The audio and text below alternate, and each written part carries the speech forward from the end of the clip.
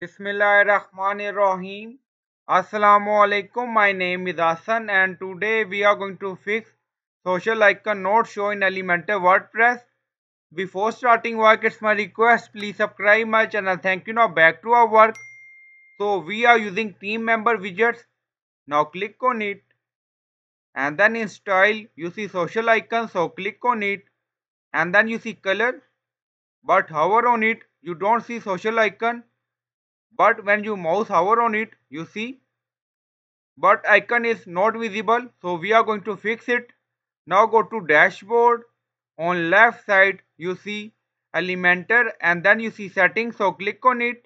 Then you see advanced so again click on it. And then in advanced scroll down you see load Font Awesome 4 support enable.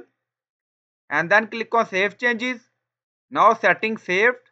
Go to elementor page update and then refresh the page. Now you see social widget and when we hover on it then you see social icon. So in this way you can fix this issue.